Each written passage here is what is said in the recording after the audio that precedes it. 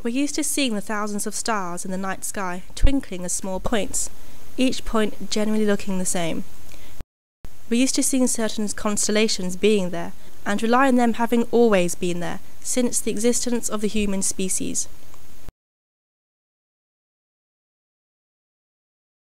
However, there are many types of stars, each one with very different characteristics, and each with a finite life.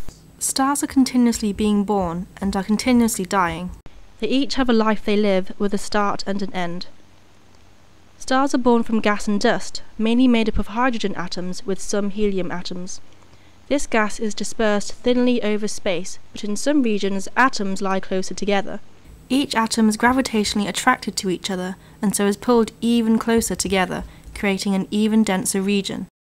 This attracts more and more atoms, Eventually, it may form a large, cold cloud which becomes spherical in shape over 10,000 years. As the atoms get closer together, their gravitational potential energy decreases and their kinetic energy increases, which makes the temperature of the gas increase. When the temperature is large enough, the gas will begin to glow very weakly. At this point, the ball of gas is called a protostar. If the ball of gas does not have enough mass because not enough atoms have been collected, that it will remain in this form for the rest of its life, only glowing dimly. Some astronomers call this a brown dwarf. The centre of the ball of gas will be the densest and hottest region. If the temperature reaches about 15 million degrees Celsius, the pressure becomes very high.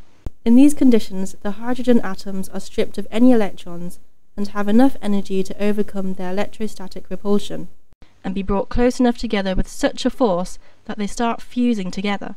At this point, the true life of the star begins. A star is born when it can start joining hydrogen nuclei together in a process called nuclear fusion.